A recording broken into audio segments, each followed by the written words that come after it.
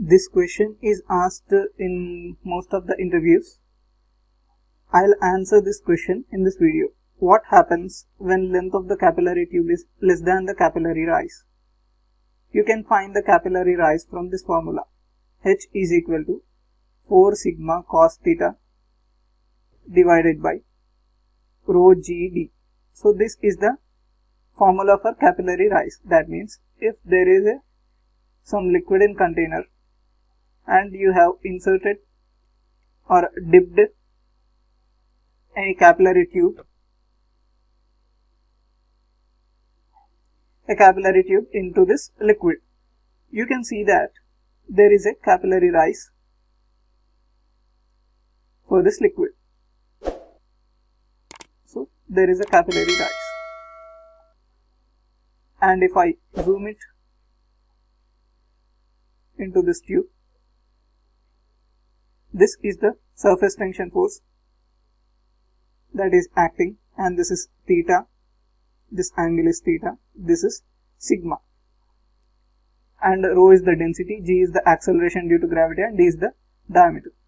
So, this gives us the capillary rise, how much uh, water or uh, how much liquid has been raised in the capillary tube.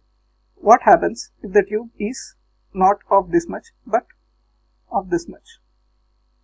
So what happens? Uh, for example, if the capillary rises some 2 centimeter. What if the tube is 1 centimeter? 1 centimeter length. What happens if the tube is 1 centimeter length?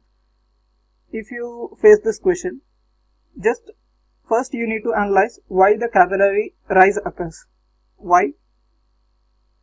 Capillary rise. So you need to first answer this question. Why capillary rise occurs?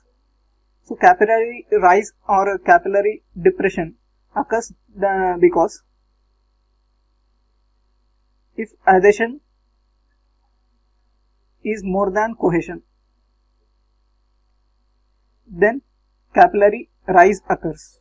That means this liquid uh, moves to a height more than this uh, liquid surface in the container.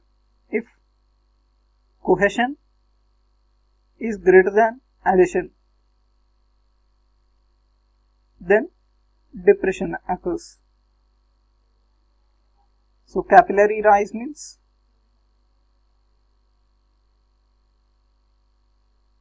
like this. And capillary depression means like this. So this is the liquid surface in the capillary tube. So that is the depression now, from this you can see that if adhesion is more than cohesion, then there is a capillary rise. So, if this is the container and this is the liquid, if the tube is just if the tube is just 1 centimeter, that means this is 1 centimeter or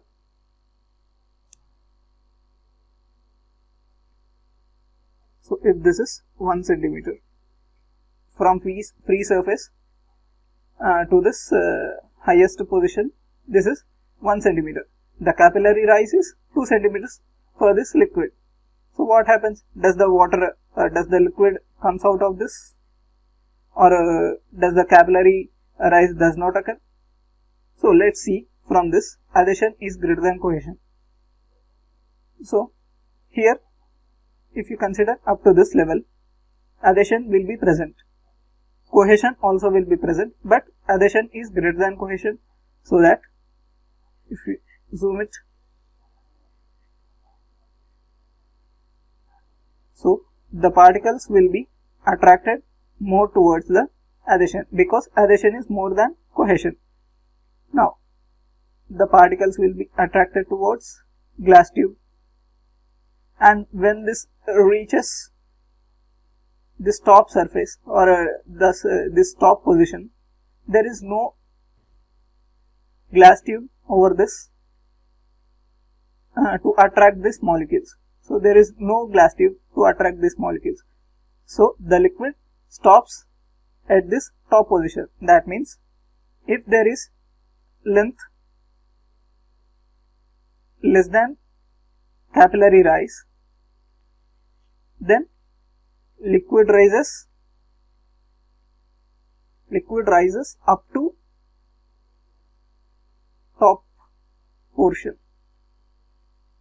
That means up to this top portion the liquid rises and it does not overflow from this or uh, uh, neither it uh, does not over, uh, overflow uh, nor uh, it does not Uh, stay at, the, at its surface level of the container.